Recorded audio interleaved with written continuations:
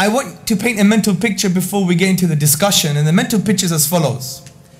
Imagine every single one of you from today, you leave this conference and you start praying not only five times a day, but all of your sunnah prayers. You start fasting nearly every day. You fast one day, you don't fast another day. You pray tahajjud every night. You do your dhikr. You feed the poor. You spread the salam. You give your brothers gifts. You smile. You remove obstacles from the road. You engage in charity, sadaqah. You pay your zakat. You fast the month of Ramadan. You do everything possible.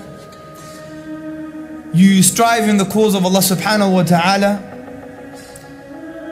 You get involved in the da'wah. You become a da'i. You call people to Allah. وَدُعُوا إِلَى سَبِيلِ رَبِّكَ Call to the way of your Lord, Allah subhanahu wa ta'ala. You facilitate the mercy and the guidance of thousands. You have 2,000 shahadas.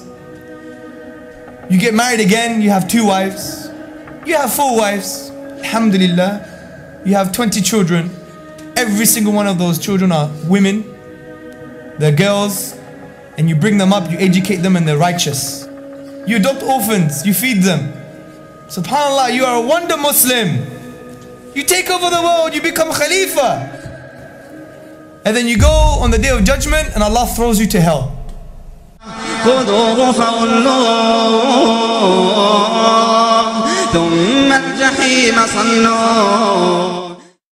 You're in Jahannam, burning forever, ikhwan and akhawat even though you did all of these good deeds.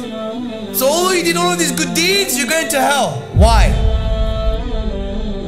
It's because we do not do these deeds solely for the sake of Allah subhanahu wa ta'ala.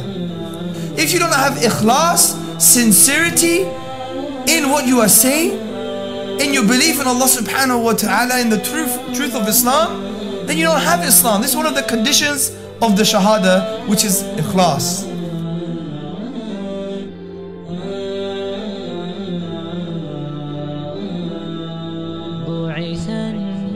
down.